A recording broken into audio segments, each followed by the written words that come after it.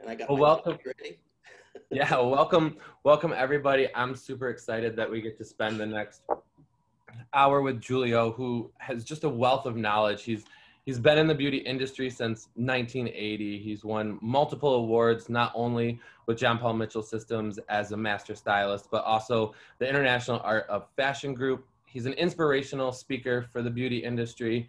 He's a graduate of Harvard Business School, earning his executive MBA. He's award winning author of two books Slap on the Back of the Head and Unwrapping Your Gift. He owns multiple beauty schools, salons, and spas. And what I love about him is his mission is to teach, help, and guide individuals to reach their true potential, no matter what obstacles they face. So, welcome, Giulio. How are you today? Fantastic. Thank you for having me today. Oh, it's it's our pleasure. And you know, I think one of the things that I just was as I was reading your bio and just thinking over the weekend, one of the things I wanted to ask you is what makes you feel, you know, inspired or your best self? Because in the in the 20 plus year, I mean, all these years that you've been in the industry, you still remain positive, inspirational, out in front of people. So, what really inspires and motivates you? Um, you know, it, it's that core belief that you know when I when I was younger, not a lot of people wanted to reach out and, and help me uh, until I really changed my way of thinking and sought out people who were willing to be mentors. And they're out there. There's some that tell you they will be, but they're not. But there are many people who want to share just like I do. And, and my belief has been what is given to me is a gift. And now it's my turn to give that gift to someone else. So what keeps me inspired and motivated and excited is knowing that I can give that to someone who believes they can't and inspire them with the ability that they can. I love that. So as you as you think of, you know, what are the best resources that have helped you along the way? I know that you mentioned, you know, mentors and so talk a little bit about how important mentors are and, you know, who are some of yours and how have they how they helped you guide you through the through the journey that you've had because a lot of people that are listening to us today um, maybe are just starting their salon owning journey or or maybe they're halfway through and they're losing some inspiration. And what were those resources that that helped you and pushed you and, and guided you? You know mentors come in many forms and many different people uh, and i usually gravitate to the mentors who are uh, doing well uh, that are successful. And what I mean by successful, not rich, but happy and excited about what they do. And that it could be anywhere from your child to uh, a salon owner uh, to your, your students or your staff. I mean, everybody mentors me uh, and teaches me along the way. So, I mean, besides our obvious mentors that we have, such as Winn and John Paul and Luke and, you know, Tina and you know, so many people out there. We, the list can go on forever. I would feel like I'm at the Emmys giving a thank you to everybody, and you wouldn't get them in on time because the music would start playing and kick you off stage. But um, it, it's anybody willing to sit down and have a good, positive conversation, whether you agree or disagree, but give you food for thought to sit back and say, you know what, maybe at that time I did disagree, but after you know, checking this out and, and thinking about it, there is some sense to that. Let me tweak that to what my beliefs are, and maybe I can upgrade that. But mentors, you're my mentor. Um, anybody who has any kind of positive attitude, uh, positive talk, solution oriented, because um, we could talk about problems all day long, but a good mentor will talk about solutions all day long. They'll tell you the problem, but they'll give you solutions that will help and guide you to that next level. And then you do what you will with that information. I mean, just watching a child play is a great learning source of how free and how they believe they are that person. You know, I looked at my kids growing up when my kid was a cowboy, he wasn't Giulio or he wasn't Stefano, he was a cowboy. You had to address him as a cowboy, or if he was a fireman, you had to address him because they were in that moment. Now, to me, that's a great mentor. That was being in the moment. That was inspiring. Um, somebody, believe it or not, I, I'm a very spiritual man, but someone gave me a Bible once They must have thought I needed it. Um, but you know, just when I when I opened the you know book up and it went to Matthew, and like I said, I, I, I ended up reading the whole thing on Matthew, but it talked about how he fed his people, and to me that was something that just resonated as wait, my job is to feed people around me, hope that they eat well, meaning informational wise. Maybe give them a little appetizer, but if they can leave full, I am fulfilled. You know, so like I said, wherever you turn, whatever you look at, there's a mentor somewhere if you're searching for them. Uh, meaning, how can I find the right mentor is the question, rather than why doesn't anybody help me? Why can't I find a mentor? Because you're not going to, because you're focused on why you can't, But if you focus on how you can, you will. I love that. And so, what was some of those conversations that you know? What are some good food for thought that was given to you throughout throughout your journey? Well, the first and foremost is not Giulio. Forget about how great of a hairdresser you are. That's not the point. Now, technical skills, don't get me wrong, are extremely important. But are you nice? Are you honest? Are you humble? Do you have integrity? Um, do you serve the people? Which is really important. Do you sit and listen? Uh, do you repeat what you heard so that they feel that they've been heard?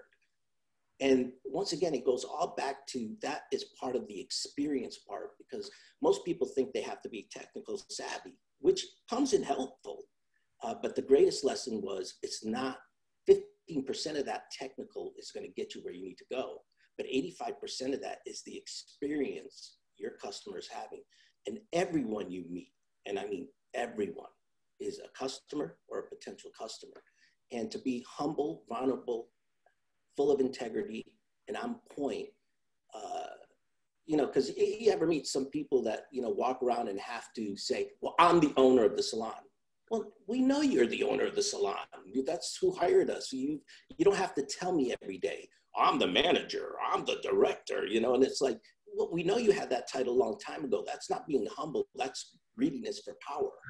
Because if you are a person of leadership, you don't have to tell people you are of leadership. You have to model that process. You have to walk the walk, talk the talk, and, and, and, and be the example.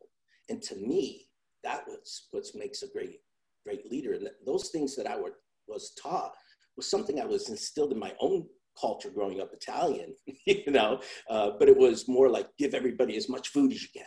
Uh, that was your way of being nice. So, uh, and be respectful. And, and, and even though I carried that un, unconsciously by people constantly reminding me, mentors, that that is the greatest gift you can give anyone.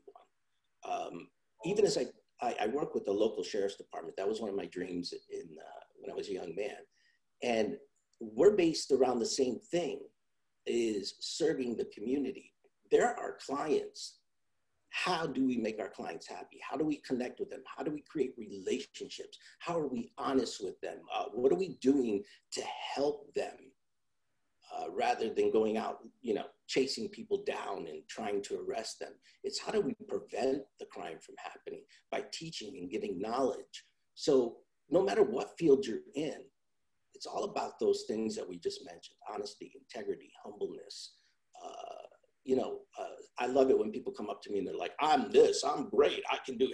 You know, I mean, they're, and I'm like, I, am so happy you told me everything you're great at. Now, shut your mouth and show me. You know, model that process. Let me see. Because sometimes the person who blabs everything they're great at is because they're not. But the person who is actually good at what they do and on purpose models and does that process and doesn't have to speak it. They just do. That's great. So talk talk about, you know, that situation or or incident, you know, we all have it where we have that team member who's just not that humble person. How do you go in and how do you coach them and what does that dialogue look like to maybe make them realize or or when do you realize that maybe they're just never going to be a team player and on that level of humble when when when is enough enough? I guess. You know, uh, first first of all, before I hire anybody, there's three reasons I'll hire you. One is attitude. Two is attitude. Three is, go ahead, tell me. Attitude. You got the job. Uh, because we could teach you the rest. And some people do show up with a great attitude, but then they get the job and all of a sudden they feel it's their job now to be the resistor, to be the one that's going to fight you on everything in the dress code and the culture and the systems. And we'll usually take the first part to say, okay, maybe there's not an understanding. Maybe I didn't do a good enough job to explain what it means to be a team player or to be part of this culture and, in in this group. Um, so I'll have a couple of coaching sessions with them and say, you know, I noticed this type of behavior. Uh, how do you feel about that? And I let them talk. And I say, well, what do you think we can do better to change? Because this is what I notice, and here's what needs to happen. What do you think we can do? See, I always want to put it on their lap because they're they're the ones that, that create and support what they create. So when I get their answers, I repeat it to them. And it's funny when you repeat what somebody says, they're like, no, that's not what I said. I'm like, well, tell me again. Um, and they'll tell me, and I'll keep repeating it. And it's just sometimes you learn that people are that way because of personal things that are going on in their lives, or maybe an upbringing they had, or some some depression they're going through, especially in these unprecedented times. I mean, we've had a lot of those talks, and it has nothing to do with not wanting to be a team player. It's uh, in, in most cases, it's something that's going on personally in their lives. Um, but if we get that person that just, no matter how much you coach, we don't lose our temper. I don't lose my mind. I just say, well, I think this relationship isn't for us.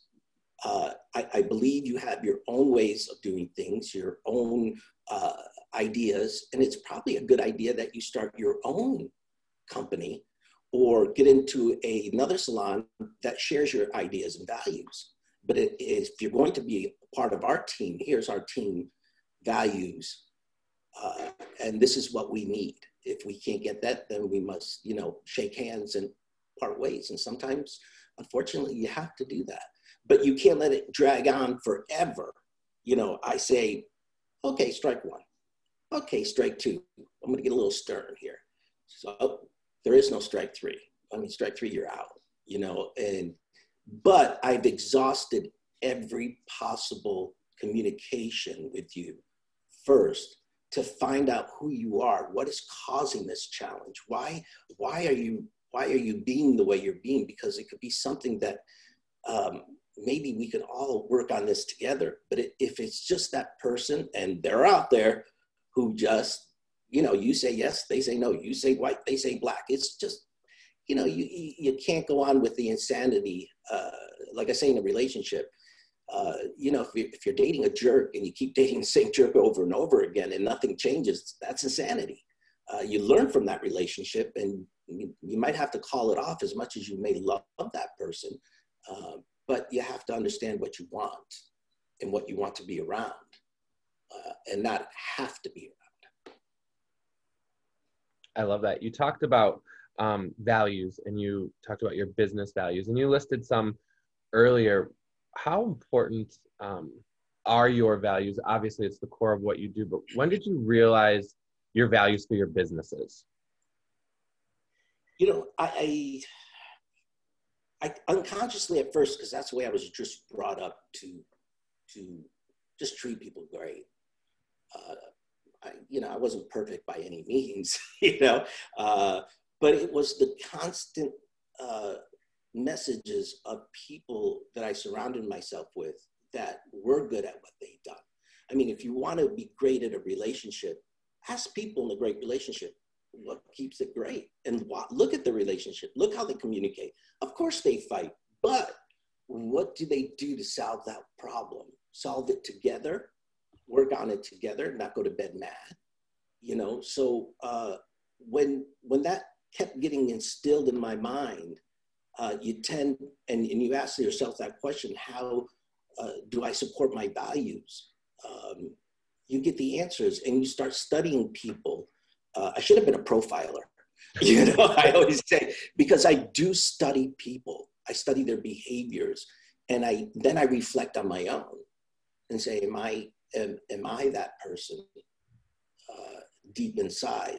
So values to me are extremely important because the values will create your behavior. Uh, and if you model that behavior, uh, which means I'm not, you know, I don't have somebody, if I have to plunge a toilet, I'll plunge a toilet. And you know that when you do it, other people will do it. If I have to fold towels, they will fold towels. I don't have to even ask. As long as they see the leadership doing what is asked of them, they'll come over and ask you if they can help you. If they see you sweeping the floor, if they see you manually cleaning instead of being that, well, I'm the boss, I don't do that, you do that. Well, no, that's not true. That's not a leader. A leader leads by example. And you'll notice that people uh, uh, will, will follow. Uh, I went into a, salon, a school that we opened up on, excuse me, and the, the director kept saying, nobody will help. Nobody will fold towels. Nobody will clean the stations. Nobody will do this. And I said, watch.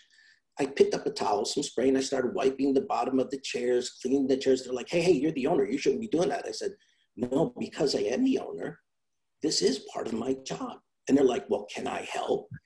Yeah, you can help. Next thing you know, you got 10 of your biggest school resistors, you know, and your salon resistors, all of a sudden cleaning the place. And it was funny because one future professional walked down and said, did we get new equipment? you know, we're like, no, we cleaned it. so, uh, you know, and, and when you, when you, when you follow those values and those behaviors, you'll want to get the knowledge to support those values and behaviors. And knowledge is powerful, very powerful. And I think we learn a lot um, and gain a lot of knowledge from from failures.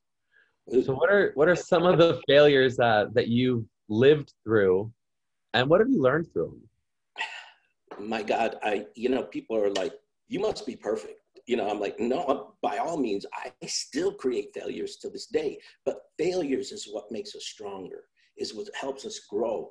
There's been many times I have fallen on my face throughout my life. Uh, you know, from anywhere from addiction, uh, because of insecurity, low self-esteem, uh, thinking that it, it, would empower me, but it put me back on my face. Getting back up, letting go of that. Uh, you know, even besides all the things, let's talk, talk about the salon. I did a bad haircut. The customer's been coming to me forever. She's gonna get married Saturday. This is a true story. And I cut her hair, and all of a sudden I left a big hole on the side of that cut. Oh my, discovery, you know, failure. Uh, her wedding's in a few days. What do I do? well, I can't shut down at that moment. I have to think of the solution. So I learned how to make some hair weaves way before and wefts before they were even out because we were doing hair shows. And I made her a bunch and, and cleaned up. Now, I've never seen her as a client again, but it, it was enough to help for her wedding. Uh, but instead of getting angry, what you do at yourself is I call a friend. I got a lifeline and he was a cutting expert. And I said, What happened? I, I pulled it straight out. I cut it and it just collapsed. He said, Well, everything concaved on you, right? He said there was no hair to support that. It was a little bit finer. If you over directed it, what would have happened? I, was said, I said, Well, I would have left more length, more volume. He says, What are you going to do your next haircut on somebody's hair like that? You know? So those are, are ways of learning. So may, I may have lost a client, but I gained a hundred more by just going back and checking where did I fail? How did I fail? What made me go into that failure? But how can I adjust it so it doesn't happen again? Um, I always tell people you're always going to face pain, but suffering is a choice. Hmm. So, you know, if you broke your leg, you're not going to suffer the rest of your life, walk around with your bone hanging out your leg going, look what I did, you know, and it hurts. No, you're going to go get it fixed. You got a toothache, it's pain. You got to either live with it or fix it. What's the choice? Um, so failures, I can probably write a book uh, bigger than an encyclopedia. Uh, but you know, I've been through so much. Uh, but I think that's what put me at where I am today. Is not I don't dwell on the failures, I don't forget them, but I learn from them. Uh, and you know, what is failure? You know, uh, some people see it as the end of the world. I see it as the beginning of something new. I love that. And you touched on something where you're very right that people get stuck in their head. They focus on their failures so much instead of the future. So, what advice would you give to kind of get them out of that that headspace and and move forward? You know, in in the book, I, I talk about the yin and yang, Sonny and Vinny. You know, what is the good guy? What's the bad guy? Those are your own thoughts. Uh, you have to choose what you listen to in your head, and it's hard to fight it really is. And we all have those voices. Now, I'm not talking about voices, you know, if you do hear some real voices, please go see a doctor. But I'm talking about the voices in your in your own head that that you can choose to to fight back on. And and trust me, I've argued with those voices in my head mm-hmm. until I won meaning there are my voice that says you know you, you you can't you won't you, you you're a failure you're you know because that's the voices that maybe your mother or your father or your uncle or a teacher or somebody has put there. And now you got to get this other voice that battles that voice and says no you are much better. You can always achieve anything no matter where you come from no matter what you did. So it's not going to happen overnight it's a battle you're always going to do. Even in the morning when I wake up, I have a battle of should I get up and go to the gym or should I not go to the gym? What excuse am I going to use this morning? Uh, so, you know, those battles are fought even when I'm laying there. But then the thought of, of going to the gym wins because I remember when I was unhealthy, uh, I, I was a walking dead man. Um, you know, and it was not to be skinny, it was to be healthy. And, I, and in order to be with my family and to be the example to my family to my kids to my staff to um, all those around me i got to model the process. So if i'm telling you you got to you know get healthy not lose weight. Skinny is not you know that'll come as you know you work out but that's not the goal. The goal is to be healthy and to get that blood flowing and to get that right mindset so you can think clearer. Um, so yeah, you you know, I think we all battle our thoughts, uh, and some people say, no, I never battle my thoughts. Well, you're battling it right now. so, you know, I, I hope I answered your question on that. Yeah, I love that. I think you know it goes back to just how powerful your thoughts are and how important it is on what you what you choose to listen to. So as we look to um, you know we're in 2020 it's a very different uh, era for us all. Um, what are salon owners missing right now? In, in your opinion being that you're in both worlds you're in the school world which we're going to talk about in a minute. I just saw some questions that popped up about the school world. Um, but what are salons missing right now do you think? Well i can't speak for all of them. Uh, i know in the the world what was missing was the salon and and and in this pandemic and unprecedented time i think what good came out of that is people saw the need for a great salon uh, not even a great salon just give me my barber back give me my hairdresser back give me my makeup artist back we we went from here to up here uh, and, and nobody was saying, where's my doctor? Where's my dentist? Where's my plastic surgeon? Where, where's my hairdresser? I mean, that's all they talk about and still do. But with salons, you know, what I, when people go out and they look for a job, they want to know today, we don't interview them, they interview us. Believe it or not, you think you're interviewing them. You're not. They're interviewing you. And, and what they care more about today is what are you doing to save the planet? Number one. You know, number two, what are you doing to educate me further? What do you what what plans do you have? What is your culture? What is your systems? What is your plan? Because most salons don't have they have a plan here, but not here on paper or in a book or in a binder. And they change the rules constantly every day. But did you ever take a moment to not think of what the future coming in needs or what your clients need. But did you ever take a moment to ask them what they would like? Because, or what they've experienced and what they would like to experience. So in today's salons, once again, there are some that say, I am the ruler, here's how it goes. I get that. That is your salon, that is your system. This is, this is how your system goes in your culture. However, are we providing the right tools? And are we giving them the tools and materials and, and, and, and paperwork they need to understand their tasks and their expectations? Um, and that's missing is the communication. It's not get behind the chair and make me money. You know, get to know them, get to understand them, see where their strengths are and where their weaknesses are. Do a floor test with them. See, you know, okay, they're an okay cutter. Maybe we need some more technical skills. Mm, I noticed their verbiage is a little rough.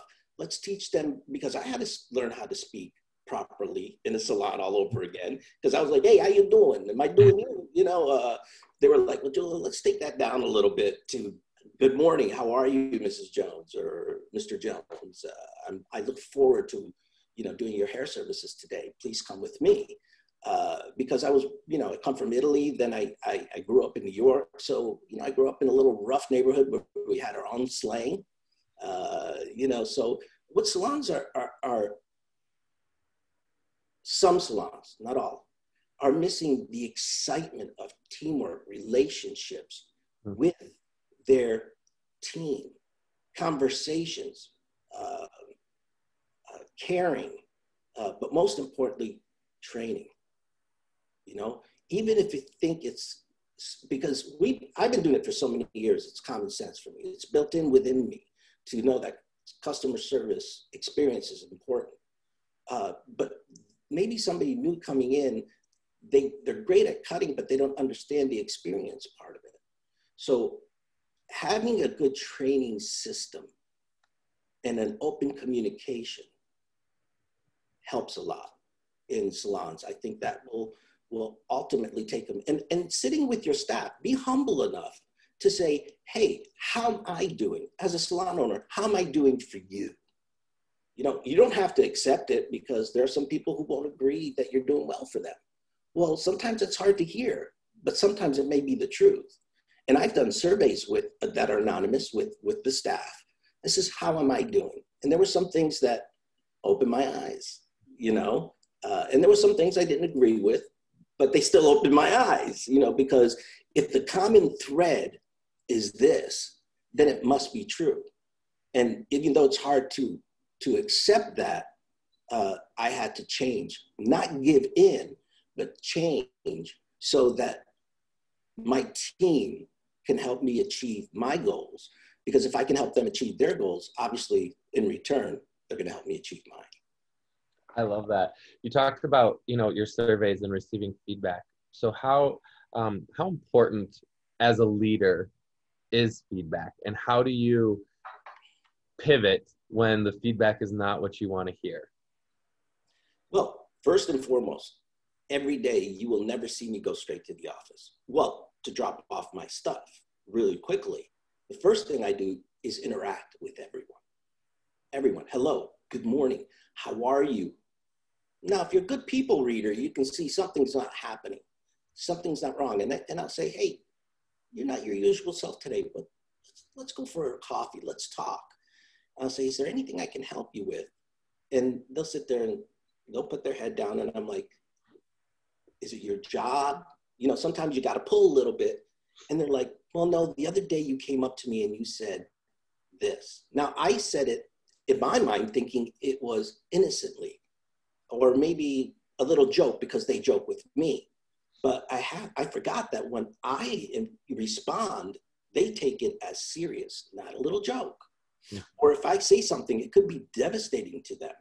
You know, even if it's, you know, why don't you wrap that a little bit tighter? Or why don't you, you know, uh, it's a simple little thing. And they're like, the way you approached it just made me feel like I'm not good at what I do. And then I have to stop and, and say, you know what, my apologies. That was not my intention. My intention always to make sure that you get the best. My intention was to share knowledge with you. So if I came across the wrong way, I apologize what works for you when I need to come and coach or help or give you some advice? What's a good way that I can approach you? How, how can I, because everybody has a, some people like to be yelled at. they're like, no, yell at me. I need that. You know, some people are very tender and they're like, I need you to just be softer, or I need to, you to speak to me in private. You know, get to know your people. It's like the MIs that we use. Once we understand how they learn and we can communicate with them that way, and we understand how they like to be communicated, they'll be more open to you. And the fact that you stopped just to ask them, what can I do better to help you so that I can make you want to come here and enjoy coming here.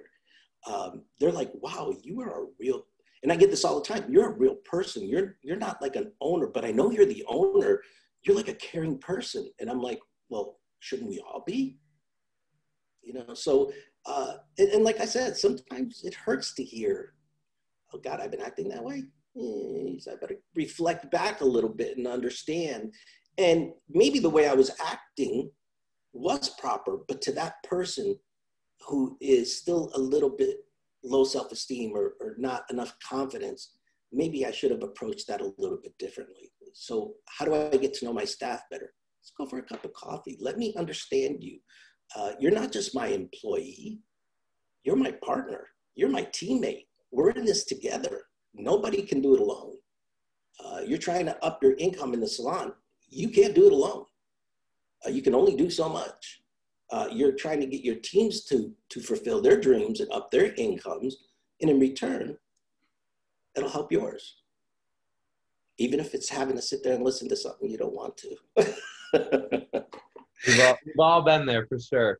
Yeah. Uh, I do see some questions in the chat, but I just wanted to touch on something that, you know, we kind of ask our, our guests that come on and, you know, why do you, why do you think you know our graduates the young professionals entering the industry you know they have a very short span some of them are super successful and go on and unfortunately there's a lot of them that that choose a different career what is it do you think that we can do and as the salon owners the salon managers and in the schools to really um, keep them inspired and and staying in this industry it all goes back to education information, uh, letting them know, because, you know, I've had to uninvite some guest speakers who come in with false hopes, uh, lies. You know, you're going to make 100,000 your first year. No, not everybody, you've got to be patient. It takes time uh, to build a clientele, whether you're a doctor, a lawyer, an engineer, a new store owner, a salon owner, or a stylist. It takes patience and it takes time. And most people give up because they want it to happen tomorrow. It's like beauty school. You know, when we first started beauty school, the dreams were all here and the excitement and the imagination of how busy and how much money you're going to make. And then they get six months into the program and they're like, hey, they look at it as a prison sentence. You know, I got six months left, you know, uh, because in between that vision to the point of where you want to go, there's work and and that's the, the hard part and some people uh, you know still have to learn and we have to focus on how to teach them to be more open to meeting people and i tell them you have the greatest line in the world i am a hairdresser you know, when you say that, people surrender, knock down all walls, and they're like, "Oh, don't look at my hair. Oh, no, you know, my last haircut," which opens the opportunities. Even if you have a great, if I looked at you, Sean, I would say, "My God, you know, if I, I met you, I'd say, I love your hair. I love your color. I would love to work on your hair. I love working on people who love the the style that you have and wear the styles that you have. Here's my card. Now, if I did that to 100 people a day and picked up one, I'm happy mm-hmm. because that one I can give the best experience to ever. And they will tell 10 other people. They got the worst experience ever. They're going to tell 100 people. You know, uh, you know, I mean, the review, you know, now they can just go on review and, and, and I don't even watch the reviews. I have to ask people because some people might be bitter about something that didn't even exist or happen. But our, our, our, our futures that are uh, professionals that are going out there are getting discouraged because they do go to salons that offer them the world but never follow through. Not all salons. I will say there are some phenomenal salons out there, and I've seen some of our future professionals never leave them because they've been supported, they've been given the education, they've been given the the the, the a, the ability to fulfill the dreams that the salon owner or the, the HR person, whoever hired them, promised them. Mm-hmm. But then there are people who say, I'm going to promise you this, and they never give them any lessons, any classes, or they just make them fold towels all day, or they make them just run and get coffee all day. That's not their job. You know, sometimes I'll say, hey, I'll buy if you fly, you know, uh, but I have to remember too that I'm going to take you through a journey of what I promised you. I'm going to teach you how to give that great shampoo because even when they leave school, don't think that they're going to come out like Edward Scissorhand. Uh, even after 40 years of doing hair, I'm still learning. You never stop learning. Once you think you know it all, hang it up mm-hmm. because that's when you get cocky. And our kids today, and I say kids, some of them are 30, 40, 50 years old coming out of beauty school, 70. Um, you still they're looking for that mentorship, that confidence, that somebody believes in them and will lead them. Uh, we're all looking for the person to lead us to the Holy Land, if, if, you, if, if I may. Uh, I'm not trying to be religious or push religion, but it's just a metaphor for saying, you know, you promised me this, and yet that's all I'm doing is picking up your laundry or washing your car, you know, or just watching you. I can go home and watch YouTube and watch a haircut? You know, how are you involving me? And as for future professionals, when you get out there, you know where your heart belongs when you get to a salon. You know the feeling that you get. It's like when you meet your first love. You get that feeling. You know you belong there. So if you're not getting what is promised, first be professional and speak to the owner or speak to the manager. Stay always professional. Don't speak to the other employees because they're not the ones that can make the change it's the person who owns that salon that may be unaware that their artistic director is not giving what has been promised. So take it to the owner or to the artistic director and say, hey, this is what you promised, and, and I feel like I'm just not getting any of that. And you also have to have those meetings to say, listen, guys, I know you're at this point weekly and say, but look at this week, you increased by one or two clients. You're getting further hang in there. Let's make a goal for two more new clients. And if you get more than that, that's great because it takes about two to three years before you really start feeling your edge mm-hmm. uh, in any business. But what people do is they give up so fast because they wanted it yesterday. They take an office job they hate. They start another career they hate. Uh, but the ones who stick with it and practice and, and keep looking for the place they need to be and keep looking for those clients, wow, the things I've seen some of these future professionals achieve. I mean, I, I know one future professional has so many millions of people on her Instagram. I'm like, are you kidding me? You just got out a year ago uh, because they post all their work. They post positive things. They post uh, beauty tips. Um, they, they, they found the right niche, you know, and um, I had to hit a few salons when I first started. Um, that made me promises but led me nowhere. But in, the, in, the, in, the, in, the, in, in fact, they did. They led me to understand where I don't want to be, what I don't want to be. So there's a lesson in everything. And then it led me to the other places that led me to the place that at 21 I opened up my own salon. Awesome. And believe me, I sat from six in the morning till midnight waiting for one person to walk in. One. But it took that one. I didn't wait till nine of five of nine and somebody walked in. I say, oh, I'm closing at nine. They walked in five of nine. Come on in, let's do it. You know, let's get it done.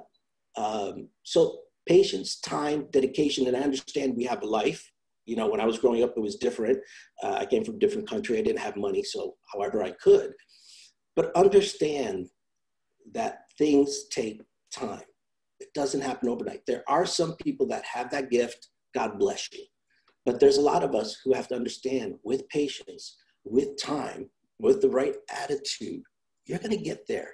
But if you're going to keep chasing money and keep chasing different jobs, you're never going to get there because you got to start somewhere and you got to build your career. You're not going to start a job and then be the head, the CEO of the company unless you've learned every part of that industry. So you might start out mopping the floors. Next thing you know, you might be the CEO. Same thing in beauty salon. You might start out maybe assisting, or you might start out as working behind a chair, but then you get to the point where you build yourself up and you can open your own salon or rent your own chair, or let somebody else have the headaches. Do your nine to five, go home and put your feet up and let the salon owner worry about all the problems, you know?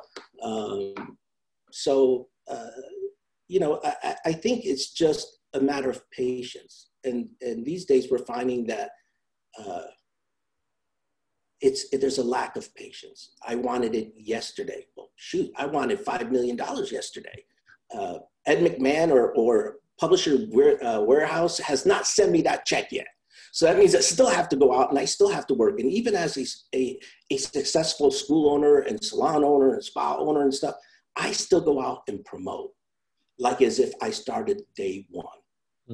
I don't say I'm an owner, I'm an entrepreneur, I'm this, I'm that. I'm a hairdresser. Will you cut my hair?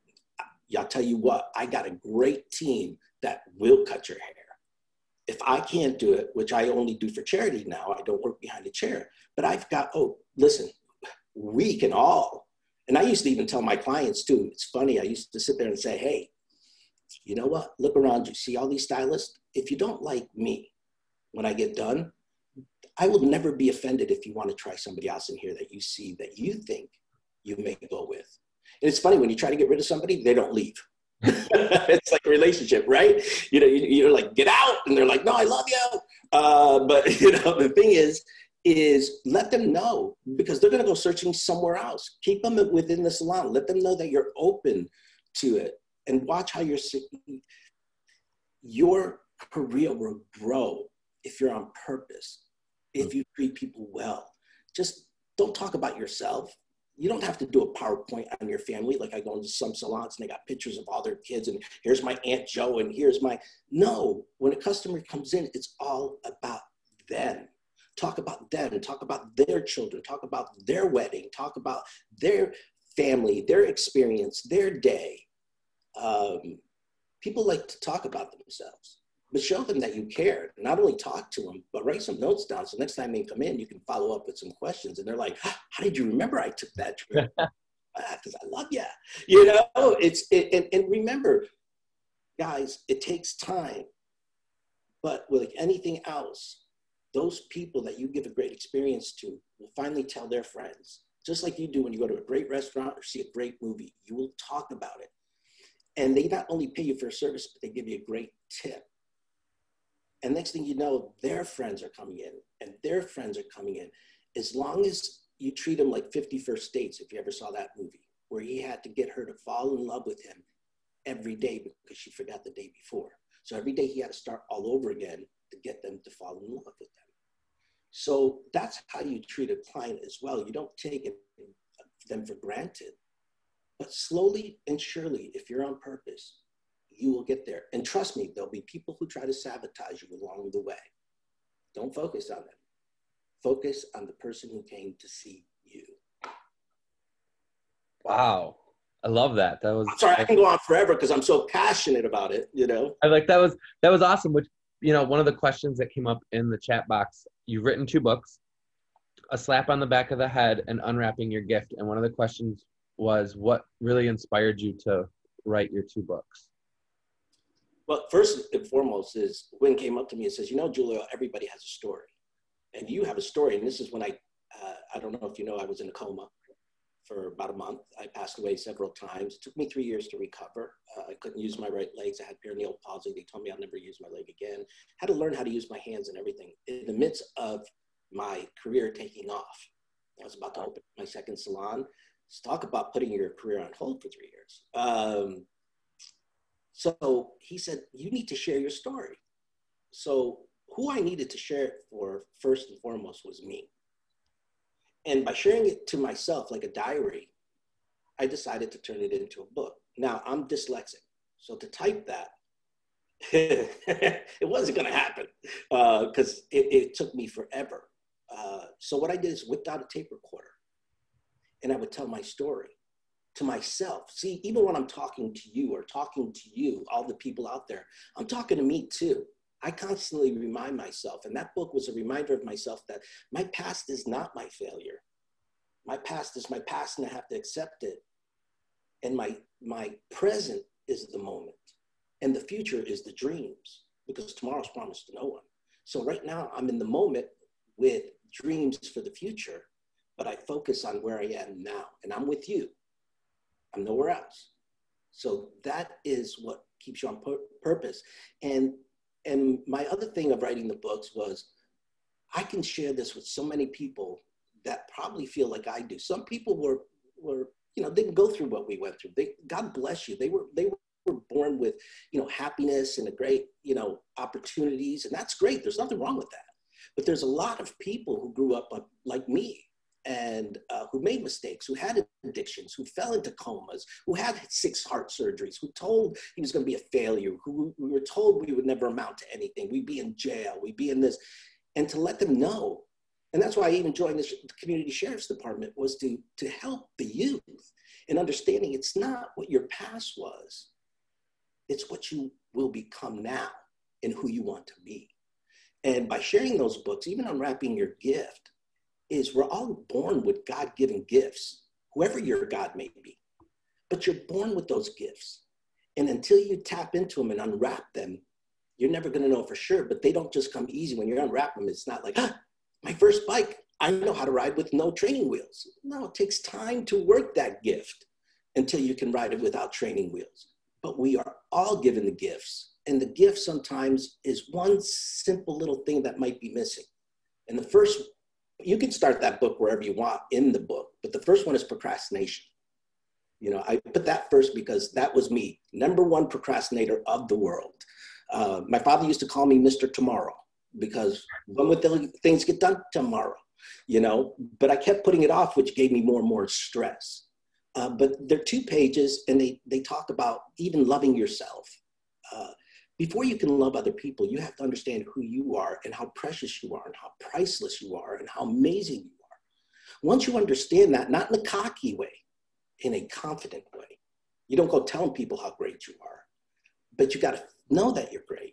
You got to feel that you're great so you can stand taller, you can smile, you can treat people great.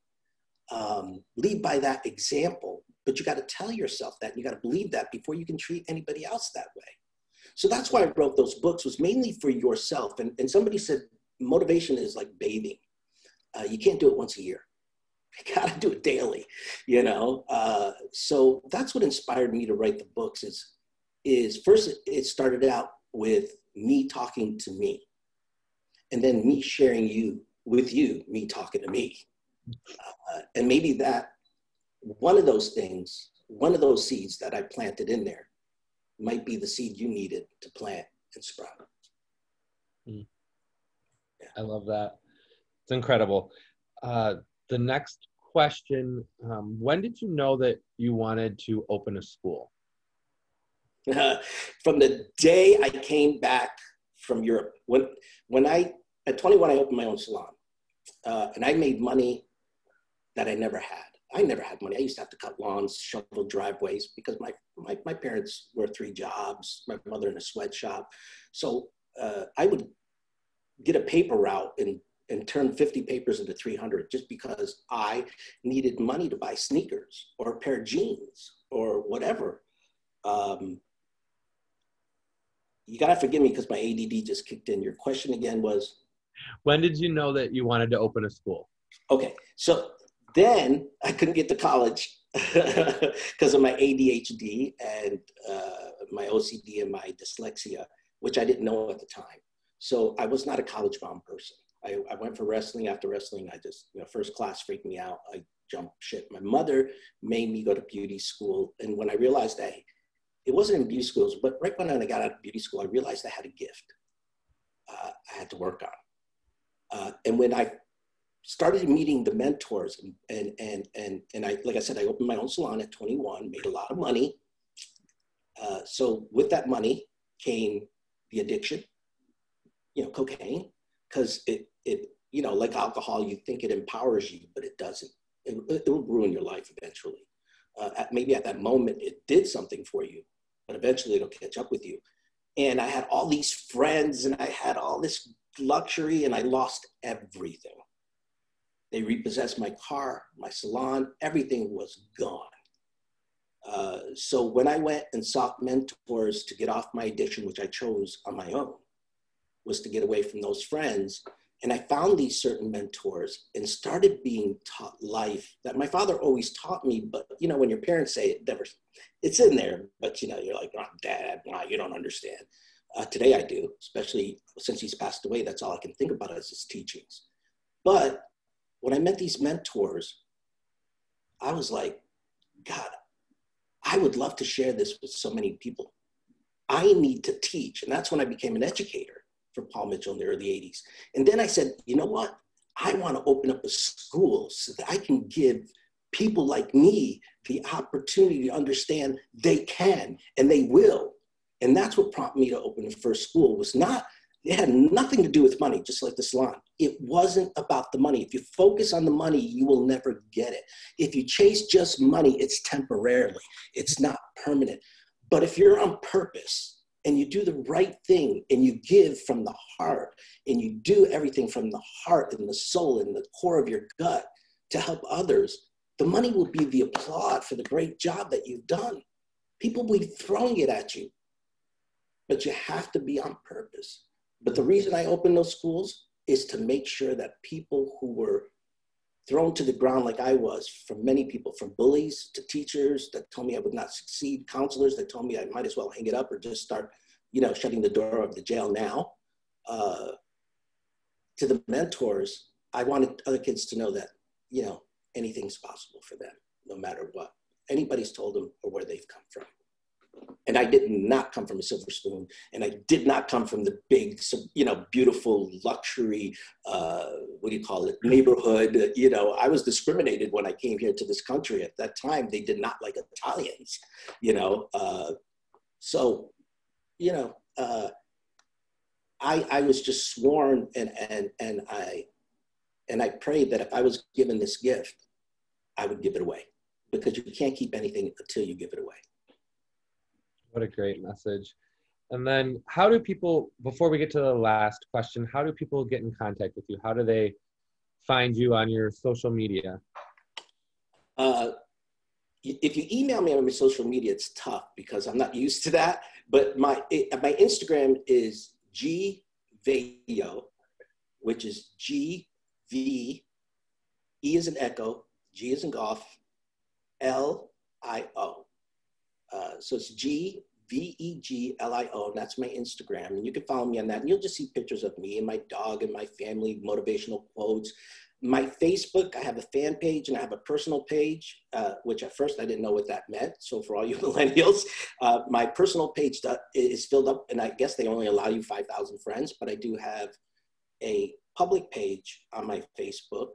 Um, and I, uh, you know, I just post once again, just strictly motivational uh, information, family values, pictures. Uh, I never talk about politics. I never talk about religion. I don't get into those arguments.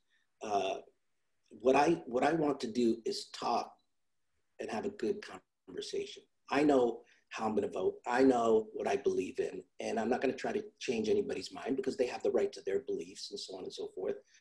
Um, so I just stick to what I think is important. If you looked at my uh, Facebook, I'll talk about COVID. And, and, and that was way back in March or February. I talk about why a mask was important. What they're talking about today, I talked about way back then because I didn't want to be a victim to the news press. Uh, what I wanted to be is part of the solution, not part of the problem.